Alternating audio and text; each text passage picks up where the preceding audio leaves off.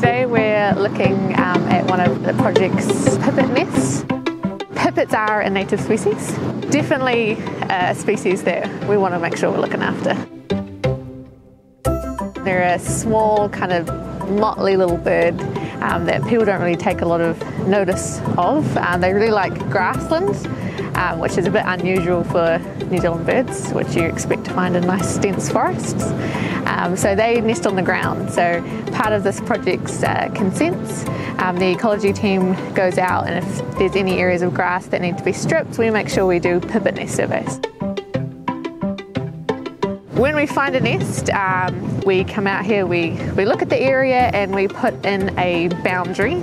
Um, the boundary is to make sure that no one comes into the area that's, um, that's not supposed to be there, uh, make sure that no one accidentally tro trods on it, um, and make sure that machinery is kept at a certain distance as to not disturb the, the parents and the young. I found uh, three eggs and three chicks have hatched, which is um, which is cool that all three of them have gone to this stage. Um, they've still got a, a, way to go, but at the moment they're fine. Um, so the parents are not sitting on the chicks, they're off uh, foraging. So at some point the parents will come in and they will feed their chicks. This particular pair is, is quite feisty, um, which is, is, a good thing. Um, you want uh, parents to be feisty over their babies. Um, a lot of, of threat, threat displays, um, they're quite vocal, uh, basically making sure that we know that that's their, their young and we need to stay away and give them um, some respect and some space.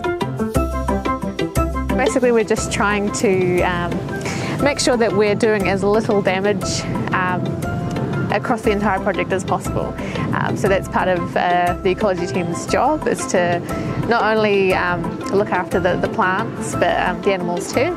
Um, so we're out here, we're making sure that any nests that are around, um, we've got an eye on them and we know they're there, which is why we have to do regular surveys.